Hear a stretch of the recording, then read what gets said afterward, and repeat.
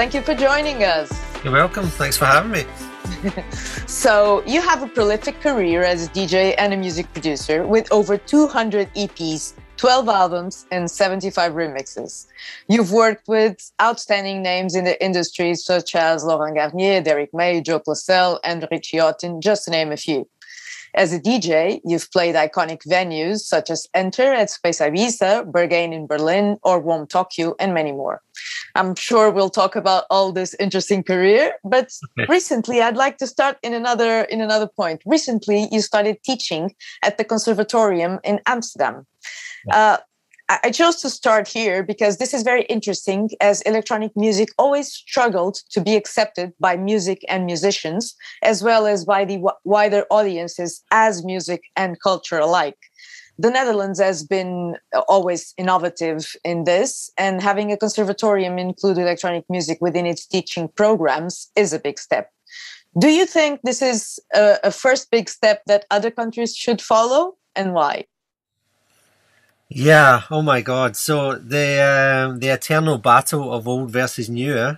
It's um, it's something. Even I mean, our school's now four years old, and we help. I helped launch the school, and even in those four years, we've came across situations where the old versus new thing still exists. You know, like for example, in the conservatorium itself, we're not in the main building. We're the noisy neighbours, so we get through out to a different building. Um, in the main building, uh, they're shocked and they just don't understand that we create music. Exactly, but it's 2021. Uh, they didn't get the you know the memo. What what's happening here? You know, like it's um, not you. I have to say, not all the not all the, the teachers are, have that way, but the the people who are there from for a long time, they don't understand that we create new music for them. It's just alien, you know.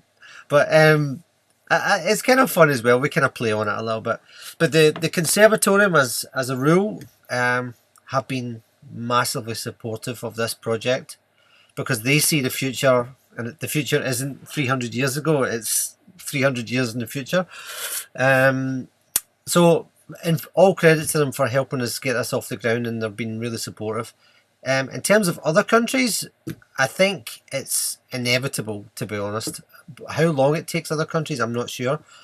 We're really fortunate in the Netherlands that we've had massive support for the music industry right through all social sectors. Like the radio's always supported house and techno. Um, the festivals are the biggest festivals in the world. Like there's 300 festivals every summer in such a small country. It's ridiculous. But they're all fully supported, sponsored, and well funded, and they're some of the best organised festivals in the world. So this country's got a real base in electronic music, and that has really helped cement the opportunity to make this happen. I think other countries that lack behind in terms of having a music culture that's so deep um, may take longer to get there, but it's inevitable. I mean, the world changes every day with music, and uh, I think at some point everyone will have to do something. Yeah, well, the Netherlands has always been uh, uh, innovative in this, but it's it's not innocent. In uh, 2012, they did a study called Danceonomics, mm. which uh, actually uh, measured the economic impact of electronic music uh, in the in, in, the in the economy of the Netherlands. Mm. And back then, it was already a large, well, half a billion, yeah. 587 million euros. Okay, yeah. so uh, because they also saw the contribution that uh, this culture brought to the economy, I think they had, you know, like they they they thought, okay, let's let's do it. You know, let's let's foster this culture. Yeah. Let's uh, you know nurture it and and now they now the netherlands has a lot of djs on the top 10 and a lot of important festivals and a, a fully full-fledged culture of electronic music that uh, other countries have had more trouble mimicking or at least trying to uh, well, I can speak for Portugal, of course. we don't have uh, electronic music in the conservatorium, no way. Um, we still we, we still have a lot of people that are, you know, oh, but is that music? You know. Just out of curiosity, though, is does the Portuguese have pop departments in the conservatorium even? where they have like more traditional Portuguese music, or is it just? yes, th- like- there's traditional Portuguese music, and there's some room for pop. Although it, it, um, it, there's room if it's made with instruments. You see, yeah. so the, it, it's it's old school versus I don't know future, new school, whatever. But Trying to convince someone who's seventy-five that a laptop Yeah. can can be a musical instrument is sometimes a bit difficult. Um, were you surprised that the conservatorium invited you to teach? Uh, how how that how did that happen? Do you know it's weird because for a long time, even going back to previous relationships, like a long, long time, people have always said that I should be teaching to some degree, and I've never really listened to a single word of it. Um, I didn't see myself as a teacher. I, I never really felt like someone who wanted to preach or teach in that kind of environment. And then um, I got invited to do some master classes for the School of House in Amsterdam. And um, Victor Corral, the guy who was doing the, the, the organisation of that at the time, um, he pulled me aside afterwards. He said, You've got a really unique way of teaching, and I think it's because you're not from the teaching establishment. You're doing it from ex- pure experience, and because you're still touring, it's really interesting for us to have you here. And then the following year, after a couple more masterclasses, he said, I've got something exciting that I want to offer you. And we went for lunch, and he just basically said, We want to see if you'd be interested in teaching at the Conservatorium for a new electronic school called AMA, ele- which is Amsterdam Electronic Music Academy. And um, from there, we just helped get it going and get it set up. And now we're in the start of the fourth year in September, just gone. So I'm still a little bit like, uh, am I teaching? a little Yeah. bit. I was gonna ask how mind blown you were by the you know by the invitation and by the the you know Yeah. having AEMI uh, working within the conservatorium. Yeah, I think first of all, I think I was didn't know what to expect from the fact that the conservatorium were doing an electronic music school. I had no idea what to expect and whether this was just a gimmick that they felt they needed to explore or whether they were serious about it. And it wasn't until I met the director of the pop department, Jack uh, Pisters, who convinced me that actually this is something they've been wanting to do for a long time. They just never found the right partner yet and um, now they had found the right partner and they were trying to gather up a, a nice group of teachers who had vast experience and i teach with some amazing producers um, so i'm very i feel very i'm very um, i feel like in one degree i've kind of worked my ass off for 25 years to get something happen at a really high level i always intended it to be gigging like 10 times a week every weekend I didn't quite get to that level yet. I'm still trying to with all the projects that I'm about to launch, etc. Um, and I'll never stop that. And I think that's one thing the students like to see is their teacher out gigging and being active and stuff. Um, but at the same time, um, I just feel very honoured to be part of that, and also proud of it now because each teacher has their own curriculum, and my curriculum across the courses that I do is mine. It belongs to me. It's not like any other DJ course or any other remix course or anything. I do it very differently, and um, I think that's why the students really enjoy it because they won't get it anywhere else. Yeah, I think that makes perfect sense. And you teach uh, four modules within AMA. You teach DJ Advanced, the art of remixing, DJ and repertoire, and style labs. Yeah. Although although they are self-explanatory, can you describe each one specifically and how did you make those programs your own? Yeah, so the first year of the school, um, I didn't have a curriculum that set up really. I had an idea what I wanted to do, but after six months, I was like, no, no, no, we have to change this. So, um, Style Labs was the first class that I got introduced to. And what we do in Style Labs is essentially talk about different styles of electronic music and what the fundamental things are of these styles and what the important things are that you have to include in the music, whether it's arrangement, whether it's mixing techniques, whether it's sound sources, whether it's um, you know various different gimmicks that these styles use or tricks. So we talk about all that, and then we get the students to recreate each style um, throughout the first year. Um, the DJ course is is again it's really unique. It's quite different, and I sometimes have issues because some people coming into the class are very grassroots level, and some people are quite advanced. So at some point, I've got to get them to the same level when we get to the end of the year, and it's a bit of a mission, but it works well the way that I do it. Um, and I talk about, obviously, I talk about the DJ side side of things. So we talk about the, the equipment, how to use the equipment. We talk about the repertoire side of things. So like what to mix, when to mix, how to mix it, um, and choices for tracks and stuff like that. So that's kind of what the DJ course is about. Then we go into year two, and I do a couple of elective courses. I do Style Labs as well in the second year, but the two electives are the Art of Remixing and the Advanced DJ course. So Advanced DJ course, we do a lot of hybrid stuff. So like we use Ableton with CDJs all synced up, which is really hard to do, but I've managed to find a way. Um, and we use lots of drum machines and uh, synths and stuff like that, all synced up with the CDJs, so that's quite fun. And I kind of get them into starting to prepare for their live end event for their school, and that's kind of my responsibility to get them ready for that. Um, you, are you bringing the old schoolers into the party? Uh, everyone's included. Not, we're, a, we're a very inclusive school. um, you can be any color, you can be any size, you can be any age. Exactly, matter. any age is important. Yeah, any age. Yeah. um, and then the remix course is again, I do this with another uh, teacher called Dennis, who incidentally was Tiesto's ghost producer for ten years. But that's another subject. Um, uh, and we do this remix course where um, we basically go to the bare bones of what a track really is and we look at the, the, you know building things back up again and then what the things are what makes a remix a remix. Is it a cover version? Is it you know a recreation? Is it an, a lazy remix? Is it a really detailed live remix? There's so many different sort of avenues you can go with it. But that's basically the the courses that i teach at the school yeah, I was going to speak about remixes because when we analyze your extensive body of work, we do understand it's clear that you love remixes. So, uh, is is that true? And what's your personal take on remixes? How to approach a track to remix? Um, yeah, I haven't done as many remixes as some people. I think because I'm very fussy about what I do.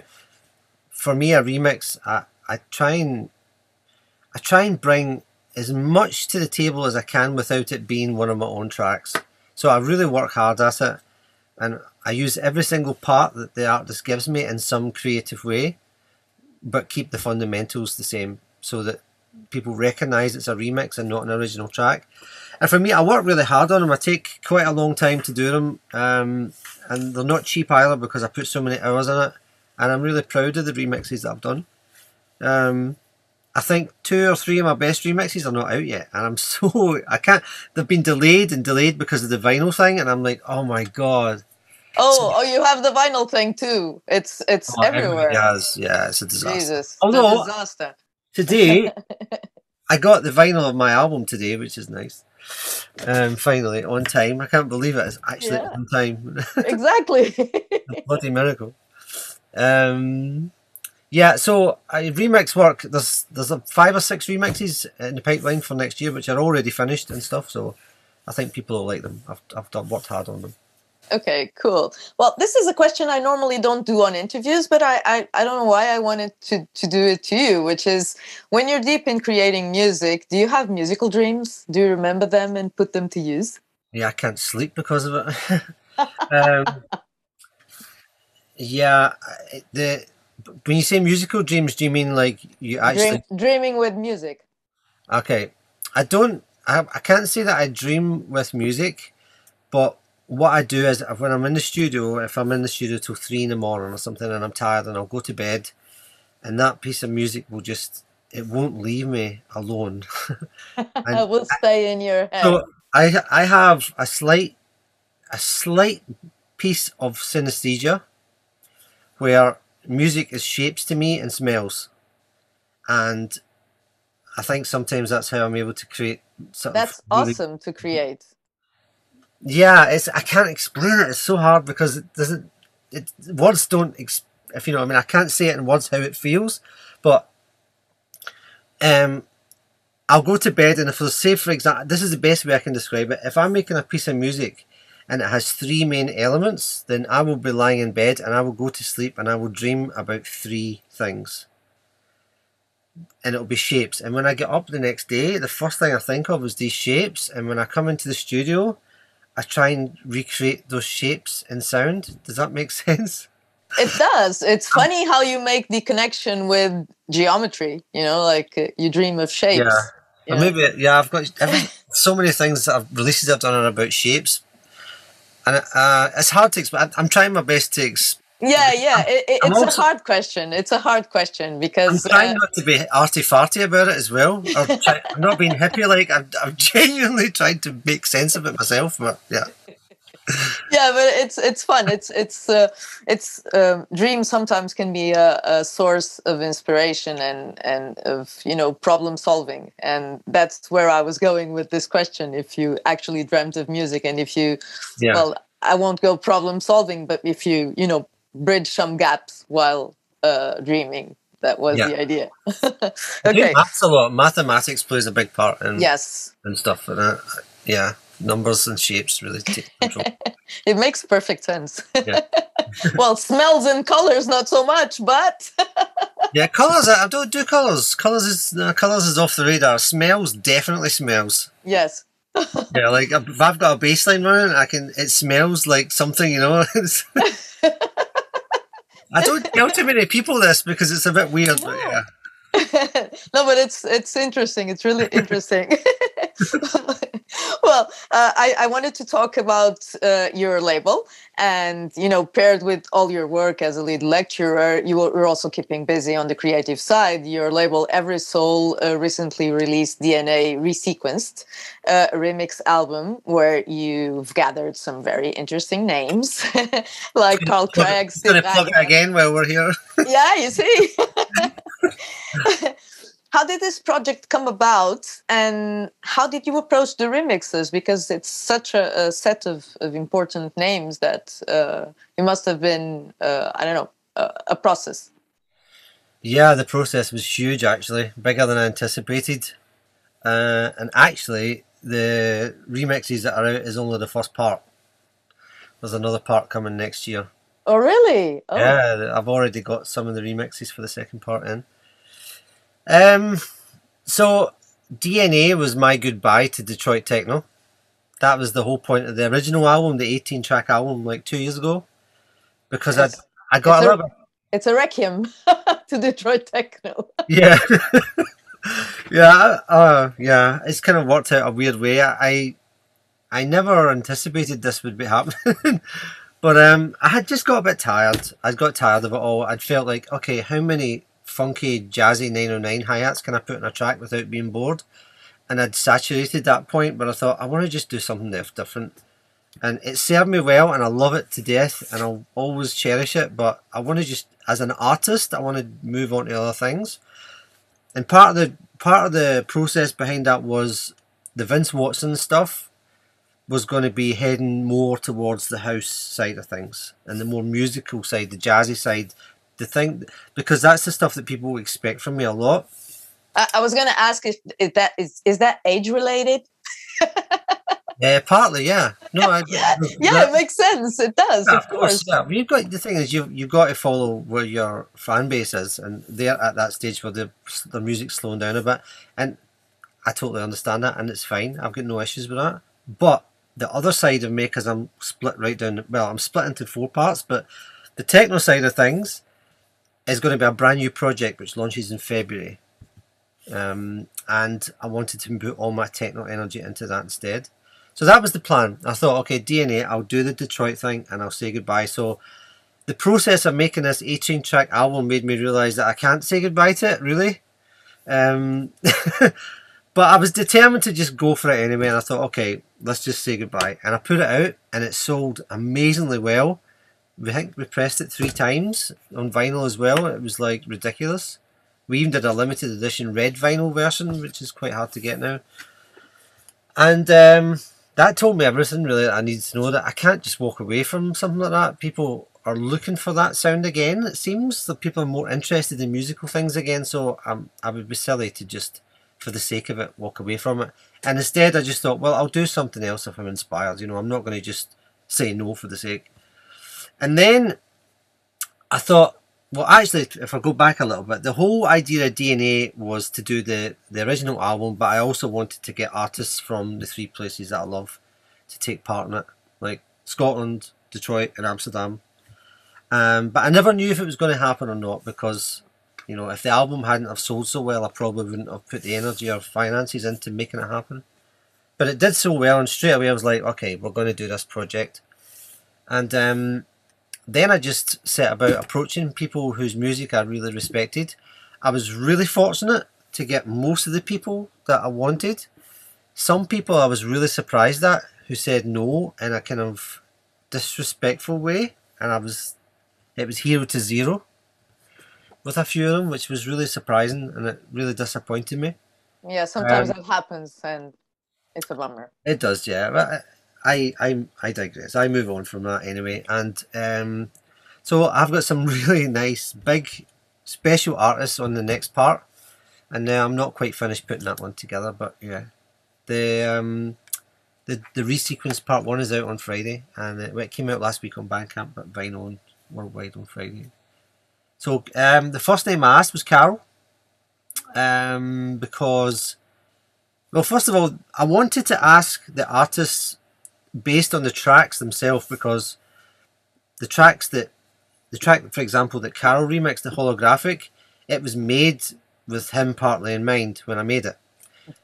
it vice versa, vice versa. So I wanted to try and get the artist to, to reflect the inspiration that was in the track in the first place. So I asked Carl straight away. He was like, "Yeah, love it. Let's do it." And I was super happy about that. And then Steve Rachmad, I think, was the next one because he's one of my big buddies from Amsterdam. And then the rest of them were more curated, a bit more um, based on the tracks and stuff. So yeah, it's a nice balance. Some some of the mixes are different from what I expected. Some are better than I expected. It's like it's a whole mix. But overall, I was so happy with uh, with the selection with the, the end result now yeah. i'm interested in knowing about this musical growth of yours um, of course you're not going to stop doing uh, techno but um, where where does your uh, your musical path uh, where where is it taking you is it taking you more to the house side of things to the jazzy side of things what what do you where do you wish to go uh, I think I'm about to become a bit of a musical animal.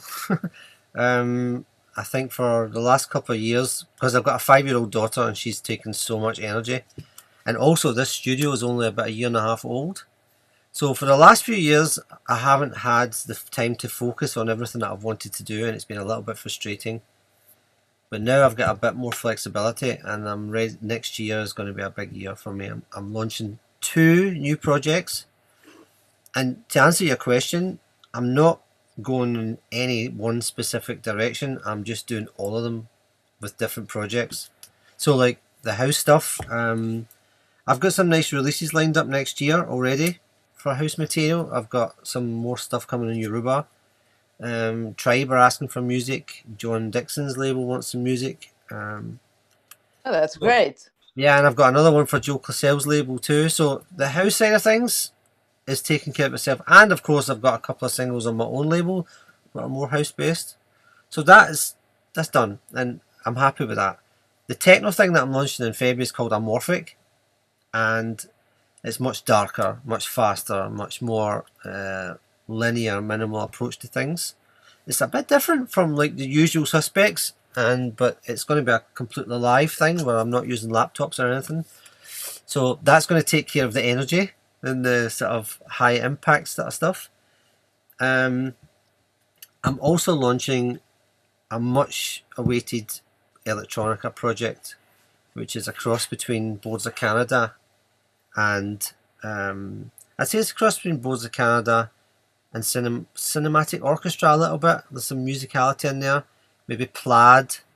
Um, Olafur Arnalds sounds in there. It's, there's a real mix. Um, but it's um, that's very interesting. It's a project that's really close to my heart because I love the music so much, and I'm I'm actually doing it in collaboration with a visual artist um, from uh, well, used to live in Berlin. He used to be the visual designer of Tresor. Tofai's name is, and um, he's going to be my partner in terms of the the outlook and how everything's going to sound and feel uh, I'm really excited about these two other projects. But I don't want to go too far down that rabbit hole yet, so that will come. Okay, so to answer your question, I'm not going down any particular direction only. I'm just going to expand everything that I'm doing a bit further, go to the next level. Okay, so we're looking forward to hear what 2022 will bring us. too, yeah. Me too. well, thank you so much, Vince. It has been a pleasure. And we're looking forward to hear you play soon and to hear your music. Thank you. Thank you. Thanks for having me. Take care.